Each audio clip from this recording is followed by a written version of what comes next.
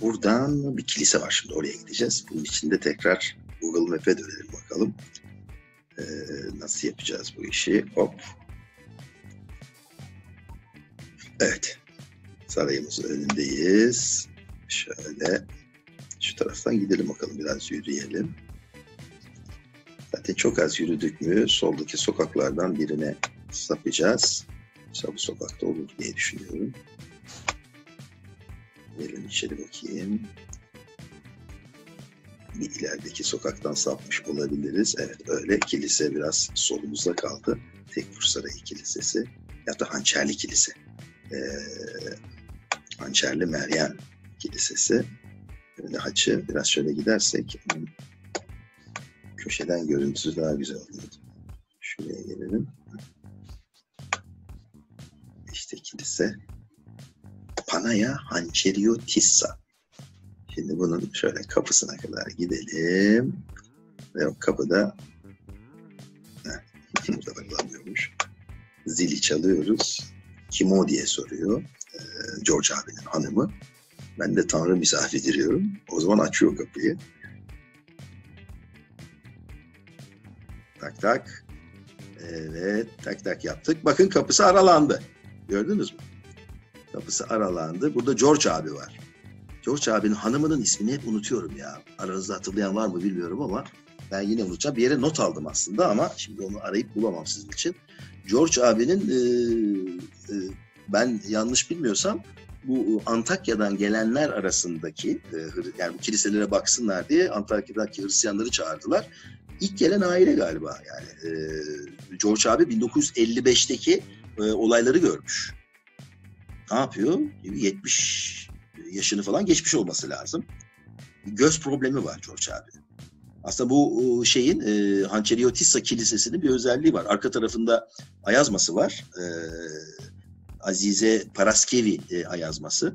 Paraskevi din şehitlerinden bir tanesi. İki tane Paraskevi var. Bir tanesi e, Roma'da, diğeri de işte Konya'da.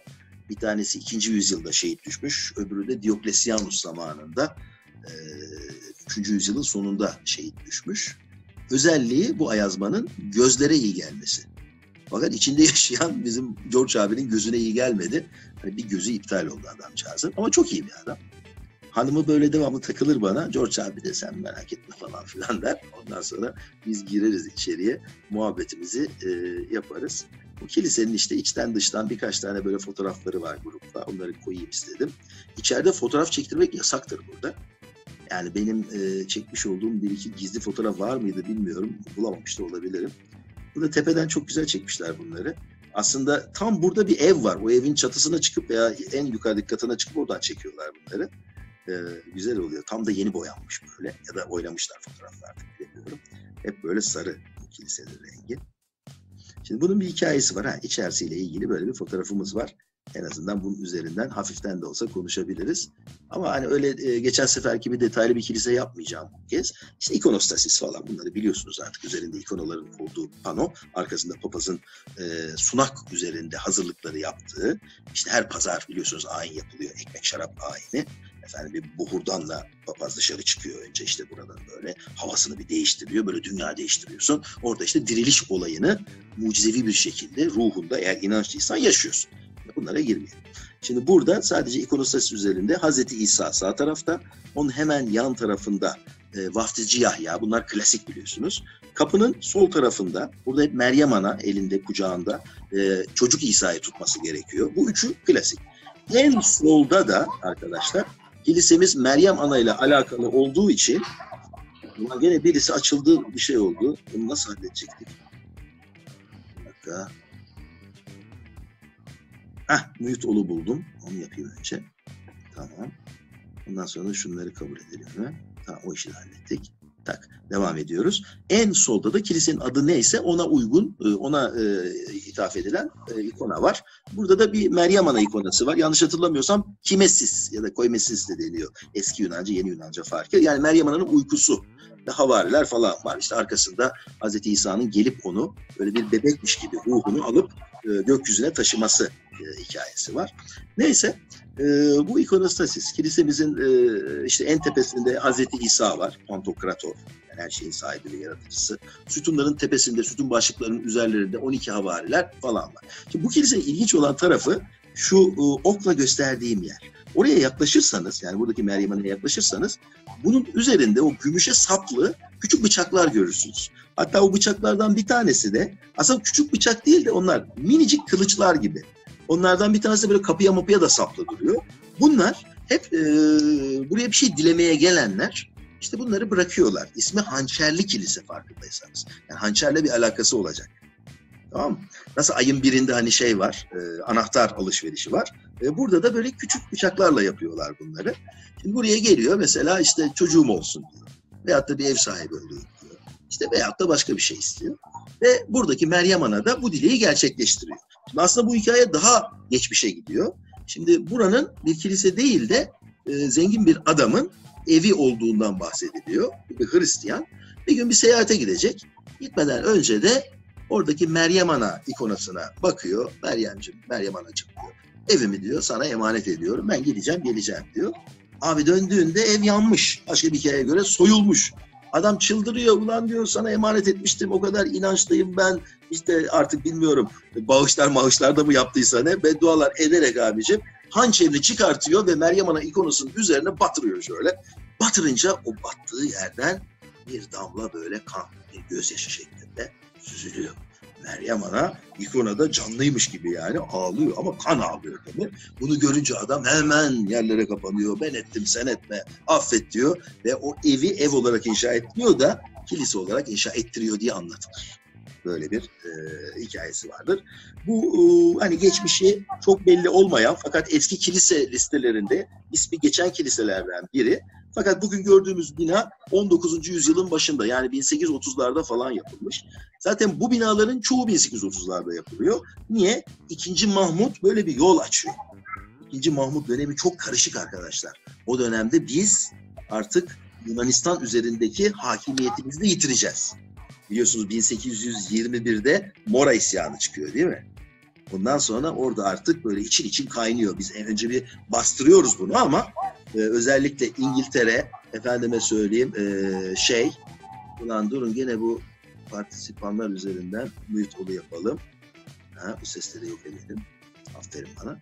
Neyse, e, fakat 1826'da e, Yeniçerileri ortadan kaldırıyoruz hani iyi bir şey yapmış gibiyiz ama aslında sağ kolumuzu kesmiş gibiyiz orada. E, yüz bin yani kimi kaynaklara göre Yeniçeri asker yani öldürülüyor. Korkunç bir katliam o. Ondan sonra cima tabii yeni gelen askerlerin adapte olması şudur budur. Hemen e, Batılılar şöyle bir şey yapıyorlar. Bir organizasyona geçiyorlar. Hem e, bizi e, çeşitli yönlerden abluk altına alıyorlar hem de Rusya bunu fırsat biliyor. 19, 1828'de ordularıyla bir saldırıyor abicim. E, Edirne'ye kadar geliyor. Edirne'yi ele geçiriyor. Biz 1829'da bir anlaşma imzalamak zorunda kalıyoruz. Yani o anlaşmada bir sürü şeyi kaybediyoruz ve Yunanistan'ın da bağımsızlığını kabul etmek durumunda kalıyoruz. İşte o dönemde o dönemde artık 2. Mahmut bir takım reformlar reformlar yapmak zorunda. Yani Avrupa ile ilişkileri tekrar düzeltmek durumunda.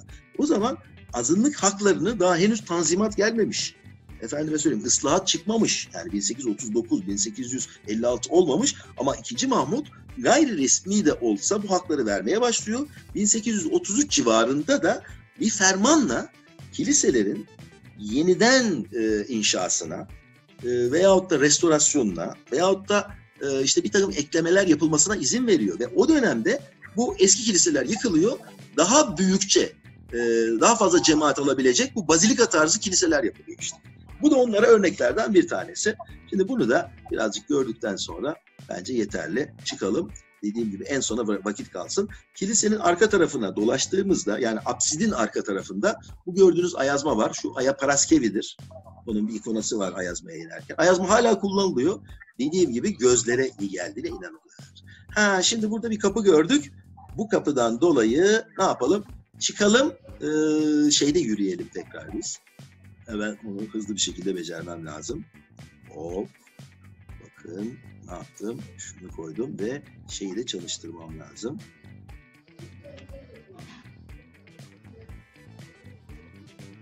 İyi akşamlar. olduğu kadar hızlı yapmaya çalışıp. İyi akşamlar Nilcim sonuna yetiştin.